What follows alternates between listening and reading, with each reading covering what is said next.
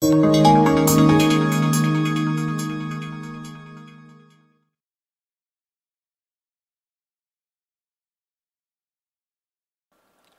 家好，下面我们来学习用 Verilog HDL 描述有限状态机的方法。首先，我们来回顾一下有限状态机的基础知识。这是有限状态机的组成框图，它由三部分组成：一是下一个状态，或者叫次态。组合逻辑电路，二是能够反映电路当前状态的时序逻辑电路，通常由多个触发器构成。三是输出的组合逻辑电路，一般情况下，触发器的数量是有限的，其状态数也是有限的，故称为有限。状态机，简称为 FSM。状态机中所有触发器的时钟输入单被连接到一个公共时钟脉冲源上，其状态的转换是在同一时钟源的同一脉冲边缘同步进行的，所以也称为时钟同步状态机。根据电路的输出是否与电路的输入有关，有限状态机可以分为两种类型。一类是迷你型状态机，另一类是摩尔型状态机。迷你型状态机的输出不仅与电路当前的状态有关，还与电路的输入有关。图中。用虚线表示输入线。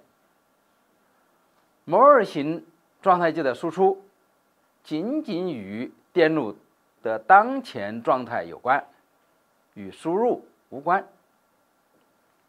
这两种电路结构，除了输出电路有些不同之外，其他部分都是相同的。下面我们来看例题。这是一个。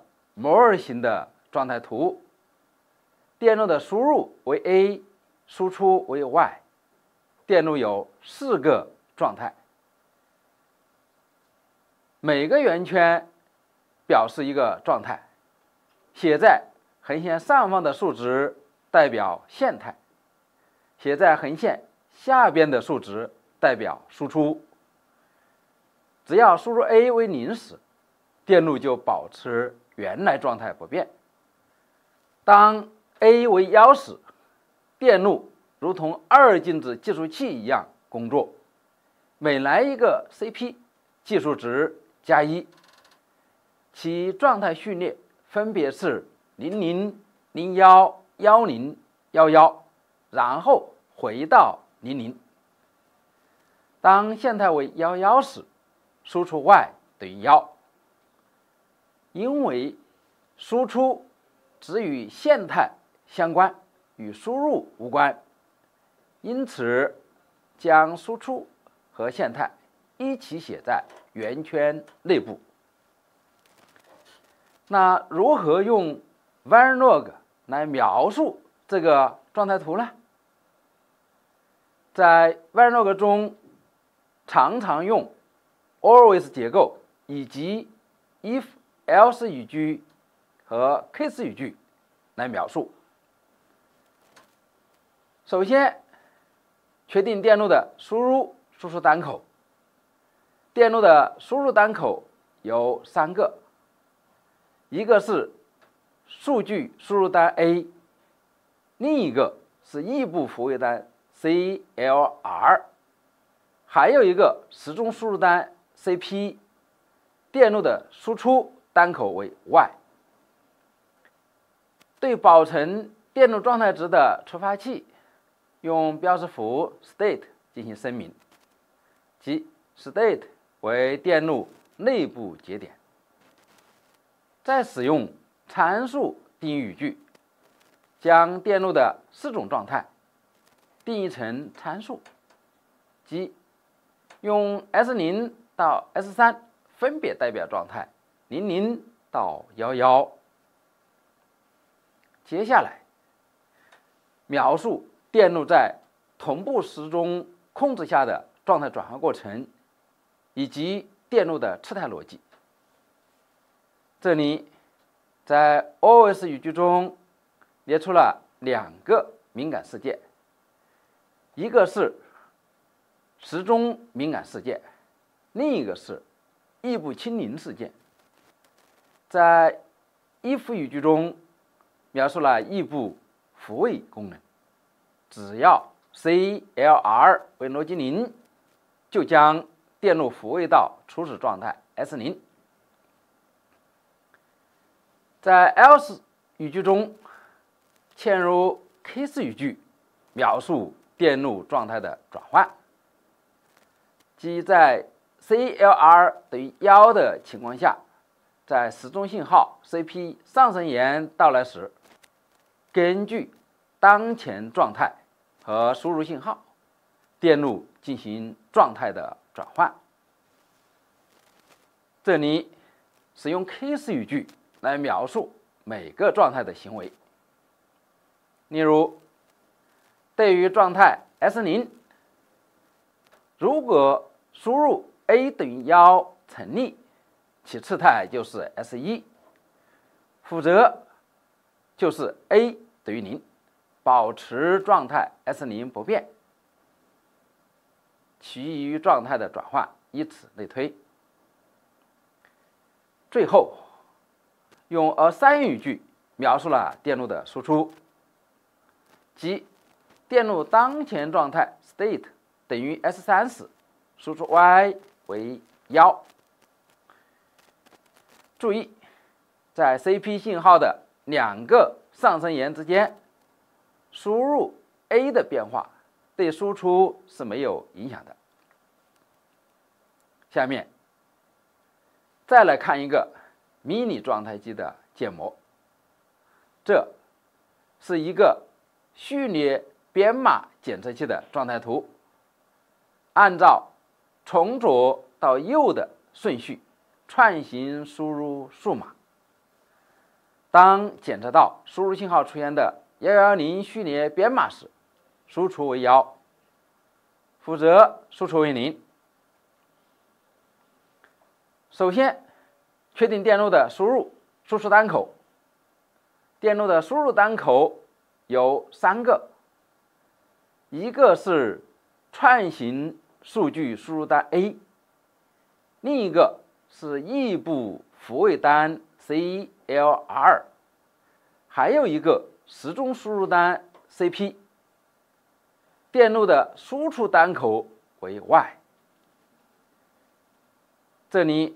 电路总共有三个状态，需要用两个触发器来存储，于是用 reg（ 括号一到零 current state next state） 进行声明。这是两个内部变量，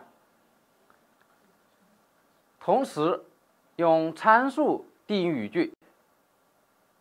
Paramet 将三个状态的名称命名为 S 零到 S 二，并指定用格雷码对状态进行编码。接下来用一个 always 语句块来描述触发器从现态到次态的转换，其程序如下。这里，always 语句。列出了两个敏感事件，一个是时钟敏感事件，另一个是异步清零事件。只要 CLR 为逻辑零，就会将电路异步复位到初始状态 S 零。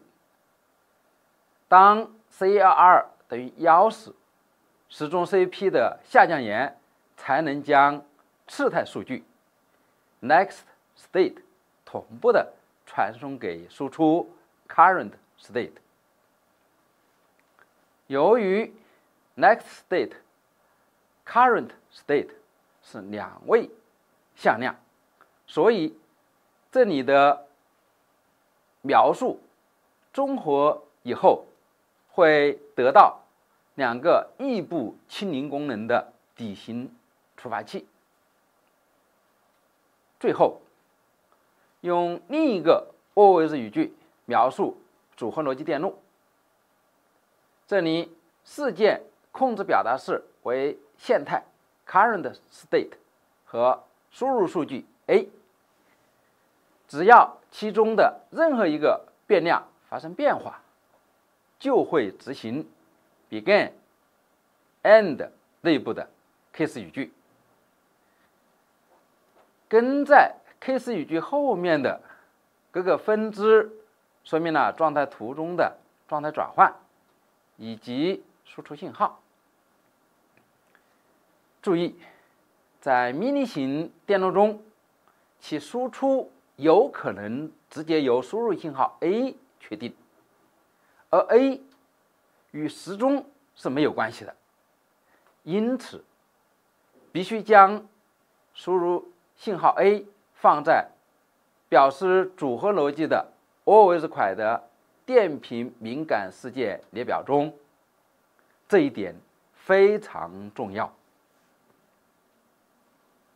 也就是说，不能将这里的输出逻辑放在前面的时序逻辑 always 语句块中进行描述。